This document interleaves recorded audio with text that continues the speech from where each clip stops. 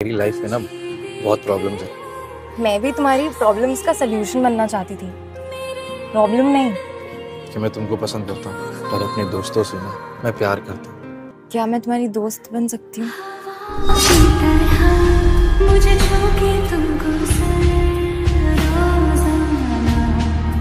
रोज़ाना।